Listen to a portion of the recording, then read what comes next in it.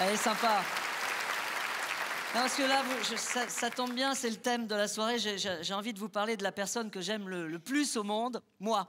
non, non, non, je plaisante. Mon fils, évidemment, hein, voilà, j'ai un fils, c'est un ado, il a, il a 18 ans, il fait 1m75, il est beau comme un dieu. Et je l'aime autant qu'il me fait rire. Et je peux vous dire que je l'aime beaucoup, beaucoup, beaucoup. Antoine Semoun. C'est pas facile d'être le fils de quelqu'un de connu. hein. À chaque fois qu'il passait d'une classe à une autre, hein, ses copains lui disaient que j'avais acheté les profs, ce qui était vrai. Non, il a très très mal vécu sa scolarité. hein. Pour lui, c'était un cauchemar. C'était euh, tous les matins quand je l'amenais à l'école, c'était Guantanamo. Mais bon, heureusement, pour euh, pour compenser, on avait une vraie complicité, lui et moi, de, vraies conversations d'homme à homme, de père à fils. Ça, va, Antoine? T'as as bien dormi? Qu'est-ce que vous avez fait comme matière hier C'était intéressant ce que vous avez fait Tu sais que je vais te peindre en vert Bon, finalement, je l'ai déscolarisé hein, parce que c'était pas l'élève le plus nul de sa classe, c'était l'élève le plus nul d'Île-de-France. C'était l'élève le moins motivé de toute l'Union européenne. En fait, il avait une grande euh, théorie hein, sur le système scolaire euh, dans son ensemble. Ça tenait en quatre mots C'est de la merde faut dire qu'il a, il a un rapport avec l'orthographe très spécial. hein. Par exemple, quand il m'envoie un SMS avec deux mots, il y a plus de fautes d'orthographe qu'il y a de lettres. faut être très fort pour faire ça. Bon, faut dire qu'il met environ, allez, oh, on va dire trois ans pour lire un livre. hein. Non, il n'a pas terminé Oui, oui, la gomme magique. Voilà, en fait, mon fils, c'est c'est un ado. euh, c'est un ado très spécial, voilà. Déjà, un ado de base, c'est un mutant, mais lui, c'est, il, vient d'un autre système euh, solaire. un jour, il est arrivé devant moi comme ça, il fait Bon, bah, papa, euh, je vais y aller. Donc, euh, si on se revoit pas, bon, bah, je t'aime. Oui, moi aussi, je t'aime, et tu vas où, Antoine? Bah, je vais dans ma chambre. Mais ok, je reviens pas, je voulais dire que je t'aimais. Et là, il s'enferme dans sa chambre. Et, et je crois que je dois être le seul père au monde à espérer que son fils regarde YouPorn sur Internet.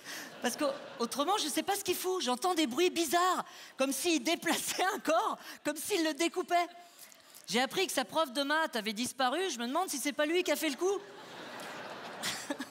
Avec son meilleur copain. Alors, il y a un meilleur copain, c'est le même. hein. Même lunettes, même bouton, même look. Ça fait trois ans que je le connais, je peux même pas vous donner son prénom. Je crois, hein, je suis pas sûr. hein. Bon, j'ai renoncé à communiquer avec eux. De temps en temps, je lance des petites phrases. Chaise, le pape, girafe. Pourquoi? Bon. Donc, il s'enferme dans la chambre d'Antoine pendant des heures. Euh, et là, bon, je fais un truc, je, ne devrais pas le faire, mais bon, je colle mon oreille à la porte. Et là, c'est comme si j'entendais parler deux Japonais avec l'accent finlandais. Je comprends rien à ce qu'ils disent.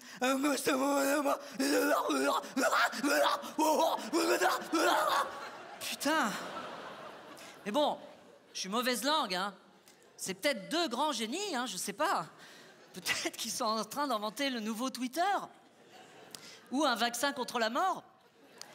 Ou peut-être tout simplement qu'ils se branlent. Je me suis battu longtemps avec euh, Antoine pour qu'il ait une vraie hygiène, euh, comme tous les ados, pour qu'il prenne sa douche, pour qu'il prenne son bain, pour qu'il se lave les mains, pour qu'il se lave les dents. Je vous assure que quand je les accompagnais à l'école, hein, son pote extraterrestre et lui, hein, en voiture, je roulais fenêtre ouverte. hein. J'osais même pas allumer une clope, j'avais peur que ça explose. hein. Autre particularité, merci.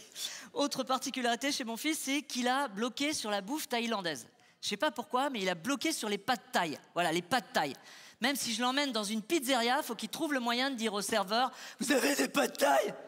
Même chez le roi Merlin, au vendeur Vous vendez des thaï Pourquoi vous vendez pas des pâtes thaï Jus de pamplemousse aussi, hein, jus de pamplemousse, pas de taille, je sais pas pourquoi, l'association des deux, bon, c'est peut-être un signe de reconnaissance sur sa planète, je sais pas.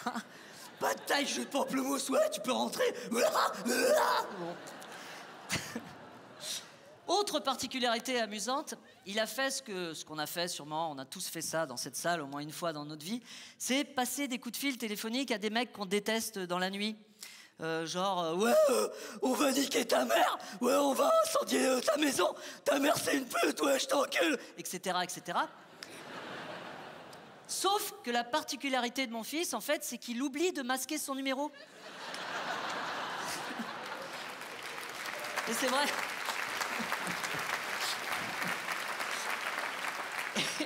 Et quand on appelle la plus grosse racaille de son lycée, c'est très dangereux. hein. Il y avait un contrat sur mon fils. hein. Il a fallu que j'appelle moi-même le mec hein, pour m'excuser. Euh, oui, bonjour, voilà, je suis le papa d'Antoine. Je suis vraiment désolé pour ce qu'il a fait. Il a réveillé euh, votre famille à 4 h du matin. Ouais, franchement, ouais, franchement, ouais, vous, je vous aime bien. Mais Antoine, c'est un fils de pute, monsieur. Oui, alors là, attendez, je vous demanderai de rester dans les milles de la correction quand même. Eh, du cobu Eh, du cobu, on va, on va te fumer, hein Toi et ta famille, on va te fumer Avec ton fils, je vais t'enculer. Oui, d'accord, bisous Oh là là. Ça fait très peur. Il m'a même euh, écrit une lettre d'adieu. Hein. Cher papa, je quitte la France. Je te lègue ce que j'ai de plus cher, me- mes pas de taille et mes 30 litres de jus de pamplemousse.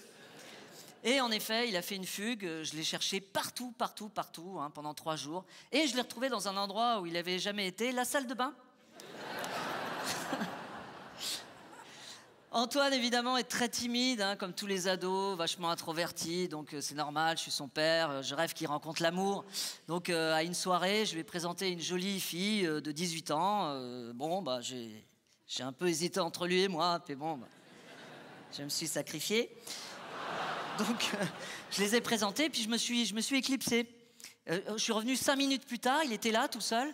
Je lui fais, ça va Antoine, qu'est-ce qui se passe? Non, elle m'a dit qu'elle revenait dans cinq minutes. Vas-y, va-t'en, va-t'en, c'est là, vas-y, ok, d'accord. Je suis parti, je suis revenu deux heures plus tard. Il était exactement dans la même position, les bras ballants le long du corps, comme ça. Ça va Antoine, qu'est-ce qui s'est passé? Non, elle m'a dit qu'elle avait besoin de temps pour réfléchir, pour faire le point. Bon, j'avais assisté au premier râteau de mon fils. Donc je l'ai invité au restaurant, hein, je lui ai raconté ce sketch euh, pour lui, lui expliquer que c'était ma façon à moi de lui dire que je l'aimais. Et là, il m'a regardé droit dans les yeux comme ça, il m'a juste dit Je peux finir tes taille